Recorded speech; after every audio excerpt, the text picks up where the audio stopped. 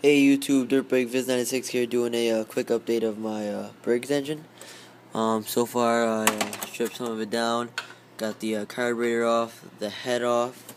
I can't take the clutch off right now because uh, I don't know, I don't got the pullers with me. And uh, the flywheel, I honestly don't know how to take off. Um, if you could help me out with that, that'd be great. Uh, Here's the uh, gas tank. A little bad.